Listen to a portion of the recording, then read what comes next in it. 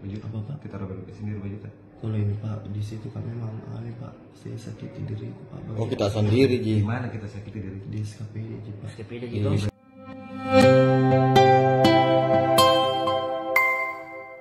Entah apa yang dipikirkan oleh Sukrian, seorang mahasiswa asal Kabupaten Sidrap, Sulawesi Selatan. Ia nekat menyakiti dirinya sendiri dan mengaku jadi korban begal. Sukrian mengaku mengarang cerita karena terlilit pinjaman online hingga 30 juta rupiah. Ia kemudian memukul dirinya sendiri hingga terluka untuk meyakinkan perusahaan pinjol. Kapolres Sidrap AKBP Erwin Syah mengatakan awalnya pihaknya mendapat laporan ada warga yang dibegal di daerah Galung Aserai Sidrap pada Selasa 9 Januari 2024 malam.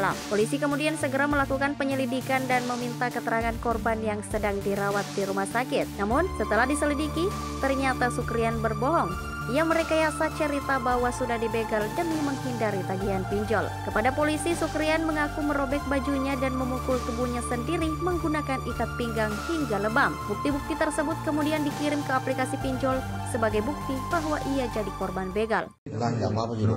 Disuruh kita ini mau bantu Ki. biar bapak tadi saya suruh keluar tadi Enggak. saya pikir oh pasti akan malu Itu apa sebenarnya gara-gara pinjaman online Ji, Pak. Hmm. Pak, nggak bisa Kak membayar di mana Pak. iya Terus depresi mah Pak. apa Depresi. Depresi ya. Hmm. Depresi. Itu, Terus Terus itu Pak, eh, ku maksudnya kayak ku sakit diri Pak, ku bilang Kak nggak mau Kak bohong. iya itu intinya kita taruh belok sendiri baju Apa, Pak? kita taruh belok sendiri baju tak Kalau ini Pak, di situ kan memang aneh Pak, saya sakiti diriku Pak. oh kita sendiri di Ji. mana kita sakiti diri di SKPD Ji, Pak. SKPD gitu SKPD. Di mana Pas di Helo, Ji, Pak. Oh enggak.